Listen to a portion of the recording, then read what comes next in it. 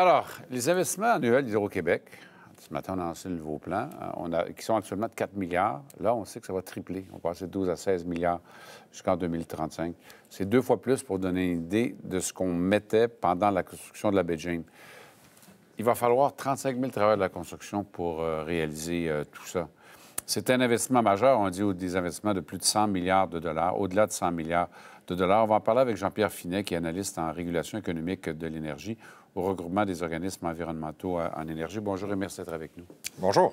On va regarder ensemble, si vous voulez bien, un résumé qui nous donne une idée de, ce, que, ce que donc M. Sébia a annoncé euh, ce matin avec un tableau qui va nous donner certaines des indications. On parle de réduction durant de, la, consommation et de la production. On va réduire durant les heures de, pointe. On va tripler la capacité de production éolienne. On va augmenter la puissance des centrales existantes. On va construire de nouvelles centrales électriques. Bref, on frappe à peu près sur tous les fronts. Euh, comment vous réagissez quand vous voyez un plan comme celui-là? Ça vous paraît ambitieux, réaliste, euh, exagéré ou...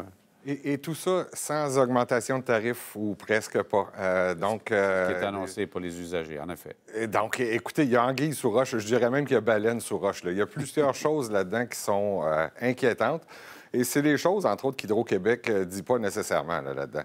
Donc, euh, euh, s'il n'y a pas d'augmentation de tarifs, c'est qu'Hydro-Québec, puis le gouvernement du Québec entend dénationaliser l'électricité au Québec et euh, laisser la, part belle pourquoi, Pourquoi, pourquoi est-ce que n'est pas possible sans l'autre? Parce qu'il n'est pas possible de, faire ça sans augmentation de, tarifs, à moins qu'on permette la réalisation de contrats d'achat d'électricité, ce qu'on appelle en anglais les Power Purchase Agreements. Donc, on va permettre à un producteur de faire une entente directement avec un, euh, client euh, pour fournir de l'électricité. Et là, ça va devenir le Far West. Et on pourra même avoir du nucléaire, ce qui n'est pas dit dans le document, mais ce qui est dit à mot couvert, qu'ils vont, étudier les différentes options qui existent un peu partout. Et ça, c'est en même temps qu'on, avec la filière batterie, comme l'appelle le gouvernement, qu'on promet donc des réserves d'électricité importantes à des à des entreprises. Donc, ça, ça, vient grever sur la capacité de, Bien, en plus, on dit qu'on va, on va, accorder 75 de cette nouvelle production-là ou de ces nouveaux kilowattheures-là à, la décarbonation, mais c'est loin d'être suffisant, là, 60 euh, TWh d'ici 2035. L'Agence internationale de l'énergie nous a dit qu'il faut réduire nos émissions de gaz à effet de serre de l'ordre de 80 d'ici 2035. ça prendrait au moins 100 TWh équivalent pour décarboner. Donc, euh, c'est insuffisant comme plan. La seule belle chose que je vois là-dedans, moi, c'est l'augmentation des, économies d'énergie qui, a doublé. Euh, mais ce qui est, ce qui est inquiétant, c'est que euh, donc, on, va briser le monopole d'Hydro-Québec pour faire ça. Sinon, c'est impossible que les tarifs n'augmentent pas, dans la mesure où Hydro-Québec... comment le gouvernement pourrait briser le monopole ou privatiser Hydro-Québec? Ça serait largement impopulaire, ça. Oui, mais c'est ce, qui est, ce, qui est, ce qui est déjà prévu. Euh, dans la consultation du ministre, euh, on a parlé justement de libéraliser le marché. Même l'Institut de développement économique de Montréal euh, propose ça justement d'enlever le monopole à Hydro-Québec de, la fourniture d'électricité en prétextant qu'Hydro-Québec n'est pas capable. Donc, comme si le privé était capable de faire ce qu'Hydro-Québec n'est pas capable de faire. ça n'a aucun sens. Donc, euh, non, euh, si vous voulez, par exemple, si vous êtes une industrie puis que vous voulez 5 MW ou plus, vous allez sur le site d'Hydro-Québec, vous téléchargez le formulaire et là, on vous demande, êtes-vous prêt à payer légèrement plus cher pour de l'électricité qui serait non réglementée? Donc, c'est écrit dans le ciel. Écoutez, ce, plan-là sert de, à paver la voie euh, au, projet de loi du ministre cet automne. Mais en même temps, est-ce qu'Hydro-Québec, c'est pas un peu tiré dans le pied? Parce que là, on invoque notamment l'augmentation euh, des coûts d'entretien puis du réseau hydroélectrique. Mais je veux dire, pendant des années, euh, au lieu de moderniser son réseau, Hydro, ben, le gouvernement était bien content de l'avoir, donnait des, profits faramineux au, gouvernement, ce qui finançait les dépenses de l'État. Mais aujourd'hui, euh, par exemple, on est, on est un, pays, un des derniers pays occidentaux avec des fils électriques partout dans les villes, alors que les grands pays ont mis ça sous terre.